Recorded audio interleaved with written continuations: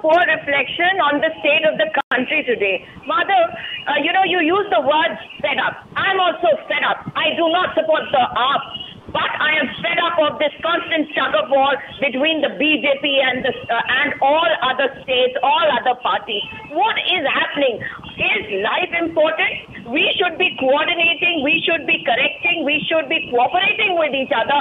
But the center is not doing it. What is Gautam Gambhir doing? Instead of Sujata looking Paul, into matters, Sujata Paul, coordinating. Sujata Paul, one second, one second, Sujata Paul. Sujata Paul, one second. Let me just stop you here. I am not for a minute saying that what the central government has done is exemplary. That is not my line of argument at all. My point is, if the central government has failed, then the state government has done much worse. Because here you have a situation with the state government's own MLA is criticizing it. Forget Congress, forget BJP for a minute. For a minute, why can't Absolutely. we admit that the Kejriwal government too has not covered itself in glory? But it has failed the citizens of that Delhi. is what I'm The saying, same citizens Madhav. who You elected tell it. me, in the middle of a pandemic, you want the government to fall. That's what the BJP is doing. The BJP should be cooperating. They should forget that they are part of the BJP.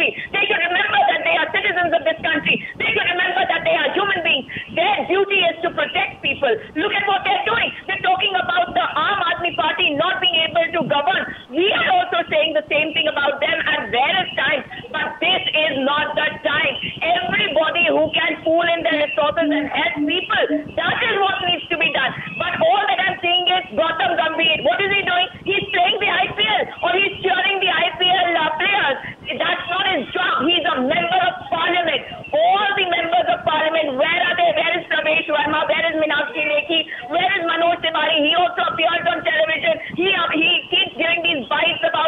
Aadmi Party. Is he doing something? Where is Hansraj Hans? Where are all these people? Why are they not standing with the government? The government does Okay. not belong to the BJP. Please don't do this. You don't need I'm to not doing politics.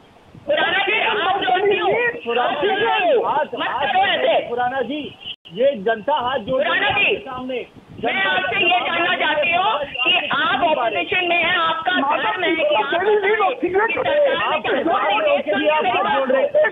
मैं तो मैं तो खुराना आम आदमी साहब, party की समर्थक नहीं हूँ मैं आपसे एक सवाल कर रही हूँ कि जनता हाथ जोड़ के रही है, सवाल कर रही हूँ जनता- कि आप ऑपोजिशन में रहते हैं कैन हाथ प्लीज़ आप जोड़ रहे। आप. ऑपोजिशन में सवाल करते हैं ठीक है लेकिन आज मुझे बताइए कि आप तो इस बात पे सवाल कर रहे हैं कि ये सरकार सेंटर अधिक oxygen?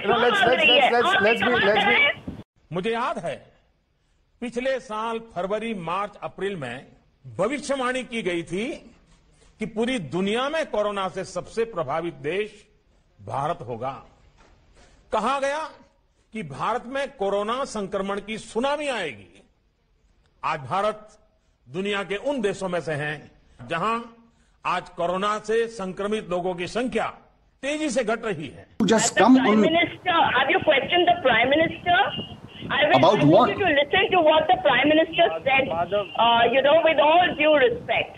what is the prime minister set okay Okay, uh, Sujata, Sujata, I'm sorry, we are completely out of time. Uh, I would love, love to continue this discussion, but ladies and gentlemen, we are completely out of time on this uh, show for the moment. मुझे याद है पिछले साल फरवरी मार्च अप्रैल में भविष्यवाणी की गई थी कि पूरी दुनिया में कोरोना से सबसे प्रभावित देश भारत होगा कहा गया कि भारत में कोरोना संक्रमण की सुनामी आएगी आज भारत दुनिया के उन देशों में से हैं, जहाँ आज कोरोना से संक्रमित लोगों की संख्या तेज़ी से घट रही है।